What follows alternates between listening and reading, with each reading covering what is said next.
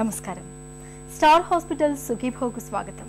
ఈరోజు సుఖీభవ్లో మార్చి పదకొండు నుంచి పదిహేడు వరకు ప్రపంచ వ్యాప్తంగా గ్లకోమా వారోత్సవాలు జరుపుకుంటున్న నేపథ్యంలో నిశ్శబ్దంగా కంటి చూపును కబళించి శాశ్వతంగా అంధత్వాన్ని తెచ్చిపెట్టే గ్లకోమా జబ్బు గురించిన ప్రత్యేక కథనాన్ని ఈరోజు మీకు అందిస్తున్నాం.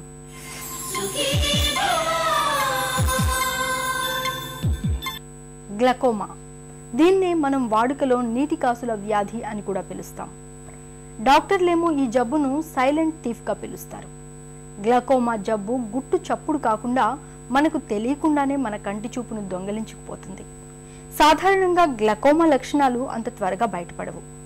గ్లకోమా అని తెలిసేసరికే చూపు చాలా వరకు మందగించిపోయి ఉంటుంది. అందుకే గ్లకోమా విషయంలో అప్రమత్తత చాలా అవసరమని చెప్తారు నిపుణులు.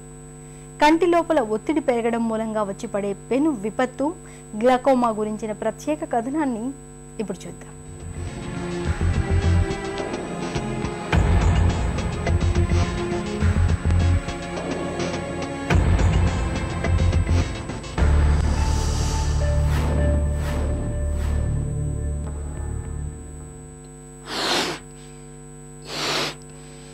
ఒక బుడగలోకి గాలి నింపితే ఏమవుతుంది?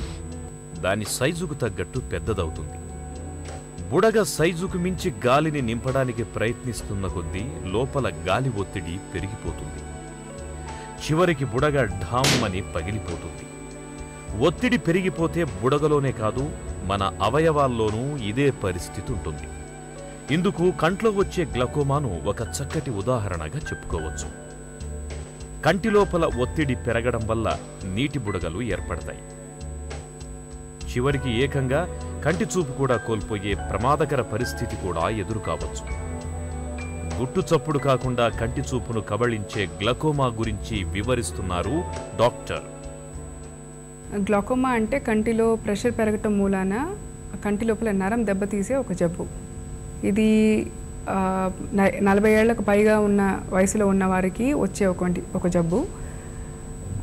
ఈ జబ్బు గురించి చాలామందికి తెలియదు.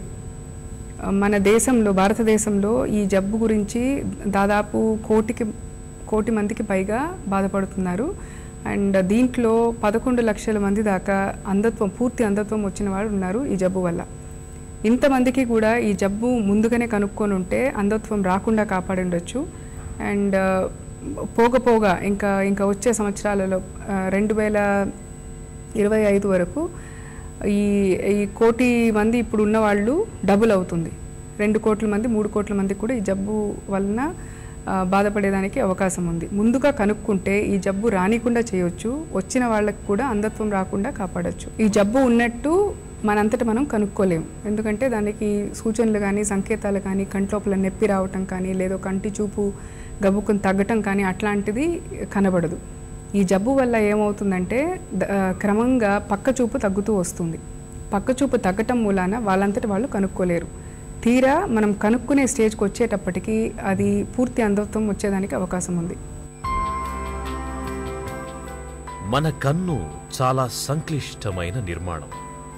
మనకు పూర్తిగా కనిపించని కంటి నిర్మాణాన్ని ఒక్కసారి చూస్తే ముందు వైపు కార్నియా మధ్యలో